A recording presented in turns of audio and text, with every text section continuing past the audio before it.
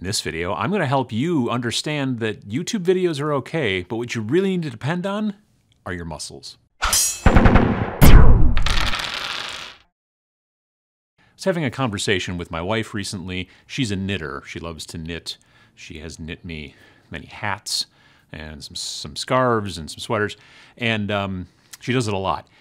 The thing is, is that we were talking about a specific technique. Um, there's pretty much just only two types of stitch, evidently, in knitting, but there's lots and lots and lots of different techniques and things and stuff. And it was mostly all over my head.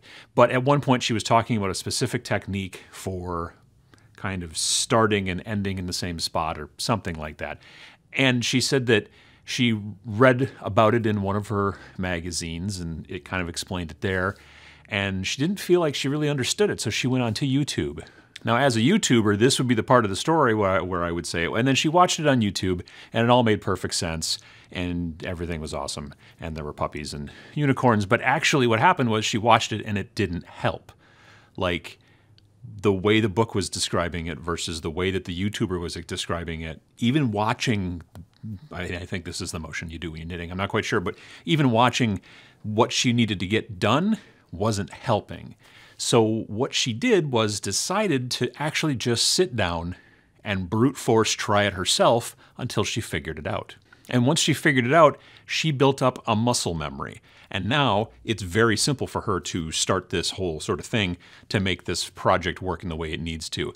But the descriptions in the books and the descriptions even in the video where she watched a person do it didn't make any sense to her until she used her two hands to actually do it herself.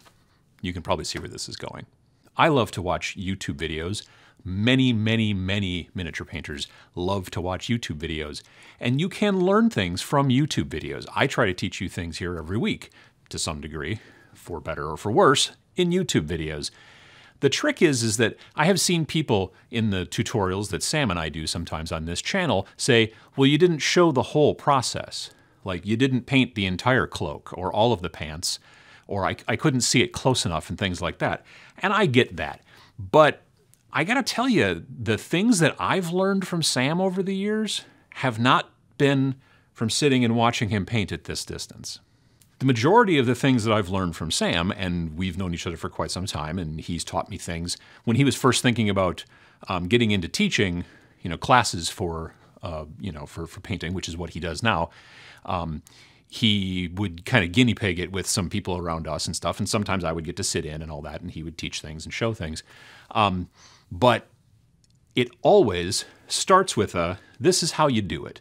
And it could be a blog post, not from Sam, although he does have a blog. Um, but, you know, or it could be a video or whatever. But the most important thing is that once you have the concept, then you sit down and actually try to do it yourself. And I've had people, Sam included, teach me an idea or a concept for painting without using a model or even a brush. They've used their finger as the brush and their hand as the model. And they're like, when you paint this way, the paint will end where it's where your where your brush stops. And then and you know, you know, and just processes and ideas and concepts like that, which are great in theory, but they don't actually crystallize in your practice until you actually practice and put some, you know, paint on a model. Some people may call these folks armchair quarterbacks, which is a reference to sports that I only vaguely understand. But the fact is, is that there are a lot of people who really like to watch this kind of stuff and and learn. And I'm a big fan of learning. I try to do it as much as I can. And I think it's important to understand this stuff. But it's even more important to make it an actual practice. Do something where you start to actually try to do it. I think there's a lot of people out there, and you may be one of them, who thinks, well, if I just watch enough videos, read enough blogs, whatever, then I'll eventually be a good painter when I start. And I hate to break it to you, but that's not the way it works. Again, I'm going to make a sports reference, which I don't know why. But um, if LeBron James, who is the only basketball player I currently know, started to teach me how to shoot a basketball, which is like this, uh, he could tell me and explain things and, and all that kind of stuff and maybe tell you, oh, it's all in the thumb, and that's really the trick. And there are little techniques and things like that in painting and in basketball, and probably lots of different things, where knowing just a little bit more helps you kind of make a leap ahead. Um, when I taught people about, you know, the, the, the wet palette, it helped a lot of people leap ahead in their painting and, and start to do better and things like that. If you haven't seen the wet palette video, you really ought to. Pachow.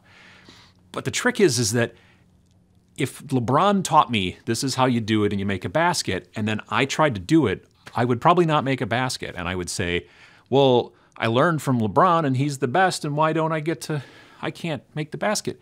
It's probably because he's done this a million times, or, well, I don't know how many, but a lot, a lot more times than I have, and he's built up a muscle memory. Muscle memory is one of the most important things in painting, in miniature painting.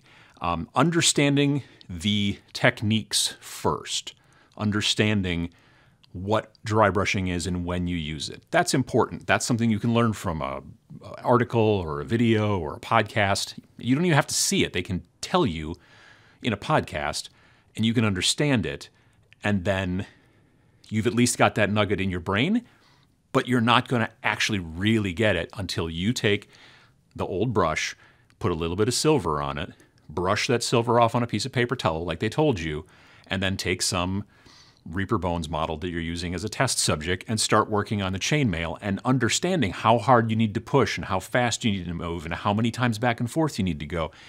Doing that stuff, actually taking the information that you're gleaning from the internet in whatever form, and then sitting down and actually practicing and doing it, that's one of the most important things. And it doesn't come instantly. It will come quickly. The lowest, I could take pretty much anybody, and after teaching them a couple of quick techniques, just talking to them and telling them, and not even showing them, but telling them how to do it, and then when they do it, you know, then they start to feel it because that's when you really start to understand is when you start to feel it like, oh, that's working. That's the technique that I want. That's the look that I want. When you do that, I can get literally anybody to a passable kind of tabletop quality pretty quickly but I can't train somebody like Sam's level or like any of the big winners like at um, Crystal Brush or any of those. I don't have that ability, and nobody out there did actually train them to that level.